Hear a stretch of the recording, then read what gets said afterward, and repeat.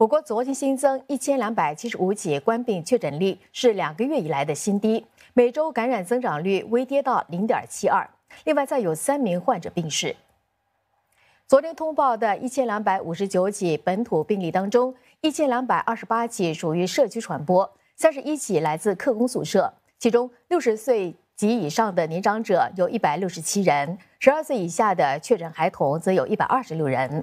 目前共有一千两百五十一人住院，在普通病房输养的有两百零六人，在加护病房当中，三十一人情况不稳定，需要密集监测，还有五十五人病危，正在接受插管治疗。目前加护病房的整体使用率是百分之五十六点八。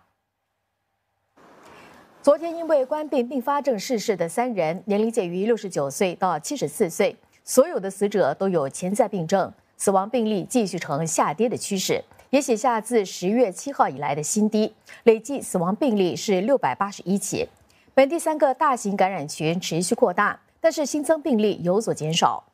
位于后港的安老协会感染群新增两起病例，累计的二十七起病例包括三名职员和二十四名住户。林古巴鲁太平保健疗养院和蔡氏怡康医疗保健和护理中心也各添一起病例。累计病例分别达到三十三起和三十六起。